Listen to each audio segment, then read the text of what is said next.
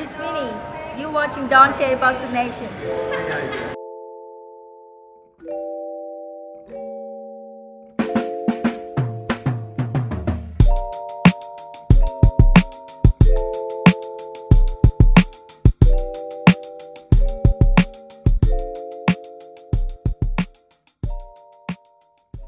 Dontae's Boxing Nation, what's going on, guys?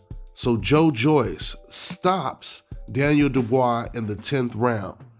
This was clearly a case of a good ass jab and experience versus youth and power. This was a very evenly matched, competitive, entertaining fight from the opening bell.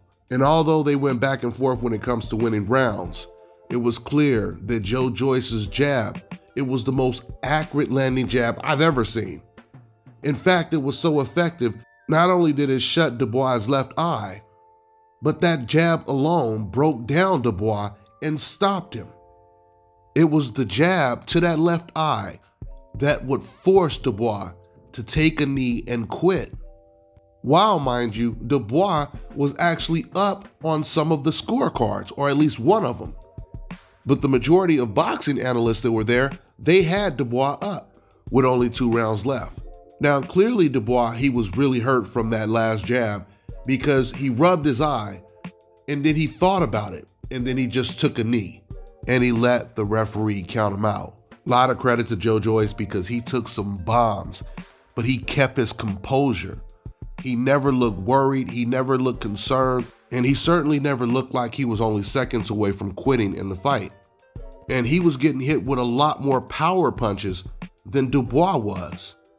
But at the same time, Dubois, he was eating jabs like damn near every other second of the fight. I mean, even after the first round, when I seen how many jabs that Joe Joyce was landing, I said, oh yeah, Dubois, his nose and mouth is gonna be busted by the fifth round. And they were. But I didn't expect his eye to be damn near shut by the fifth round as well. And that's what happened. So this was a really, really big win for Joe Joyce.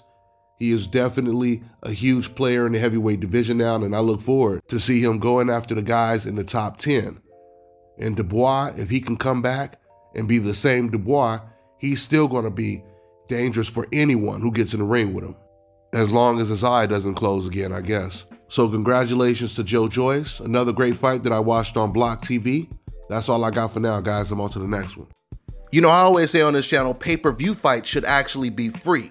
And now the day has come where I'm about to hook you up with an app where you can watch all your pay-per-view events, boxing, UFC, etc. for free. I want to introduce Block TV, the best internet streaming television app out there. They provide over 3,600 channels, including HBO, Cinemax, Showtime, and Stars. They have a massive video on demand library with over 40,000 of the new release movies and the latest TV series. And it also includes DVR, so you're getting all of this for $34.99 a month. And once again, that includes free pay-per-view. So this one right here is a no-brainer, guys, because back in Las Vegas, I was paying damn near 200 bucks a month for my cable. Those days are long gone now. So to get the app, make sure you guys go over to getblocktv.com and put in my promo code and get 30% off your first month. You also get a free month for every friend you refer. The promo code is DBNation.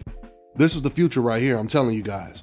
If you've lost your hair or you have a receding hairline, this is how you get it back permanently. So if you want to get this hookup for my brothers out there in the UK and Europe, make sure you check out the Scalp on Instagram. And for my brothers out there in the States, make sure you go ahead and contact my man Scalp Carolinas on Instagram. And when you go on their pages, you can see for yourself what these guys look like before.